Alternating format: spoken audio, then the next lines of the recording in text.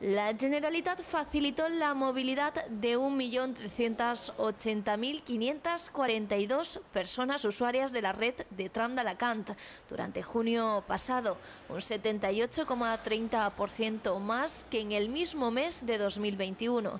Y el día de más tráfico fue el viernes 24 de junio, la celebración de San Juan, con 81.417 pasajeros y pasajeras. Para la Consellería de Movilidad que dirige Rebeca Torró es un hecho la consolidación del tram de Alacant como uso de transporte público, ya que los datos apuntan a que año tras año los datos actuales superan a los del año anterior. Y es que el hecho de que se haya puesto de forma gratuita el uso del tram los domingos, se haya reducido hasta un 50% en las tarifas y se haya recuperado el horario nocturno, sobre todo los días viernes y sábado. Ha incrementado el uso del transporte público del tram de Alacant en la ciudad de Alicante.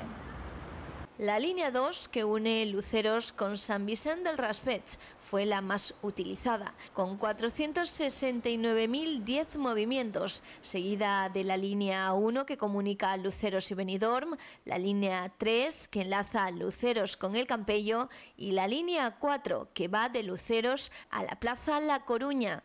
Sobre todo para la gente que no tiene coche.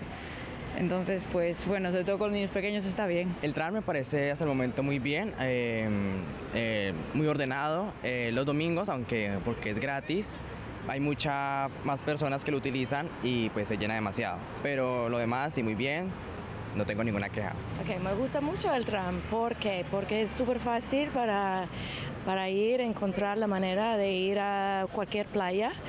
Y ayer justo estuvimos allá, en Villa Joyosa. A mí particularmente me gusta más que el bus. Voy más tranquila, voy menos agobio y el horario. Bueno, el horario es el mismo, pero para mí es más, me gusta más el tram. Al existir la posibilidad de comprar y validar los títulos de transportes en el interior de las unidades del tranvía, tren tram y tren convencional, las ventas y validaciones de títulos de transporte en una ruta se concretaron en 87.944 viajes.